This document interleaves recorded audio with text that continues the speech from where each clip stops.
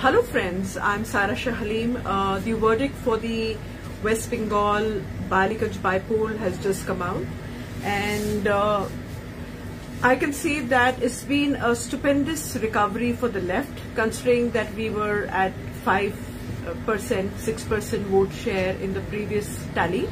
However, now we have accumulated more than 30% uh, of the vote share. So that means we have become, the left has become the only uh, contestant to the ruling TMC.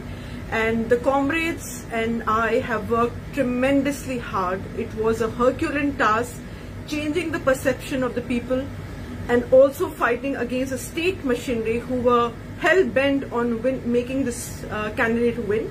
However, we have given a very tough fight. I'm already getting a lot of congratulatory messages for giving this candidate a run for his money. We left no stone unturned despite uh, provocation, despite uh, all kinds of hinderings to my campaign.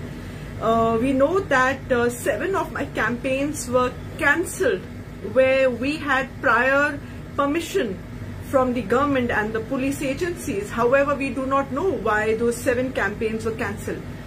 Uh, despite all this, uh, we've given an extremely tough fight to the ruling, uh, to the incumbent uh, TMC uh, contestant. And this is very clear that the left is on the upswing. We are making a roaring comeback and uh, with that I'd like to congratulate and thank all the comrades who were fighting with me shoulder to shoulder on the ground as we were out in the sweltering heat doing a door-to-door -door campaign in the Basti areas and reaching out, talking personally to the uh, to the voters, it's been a phenomenal uh, learning experience for me. It's been a tremendous experience being there, understanding the problems. It would have been great had uh, the Ballygunge constituency would have chosen me. However, I still feel as if it's a moral victory for me and my comrades who fought so hard against uh, ruthless uh, state intimidation, terror, communalism and all factors that went against us.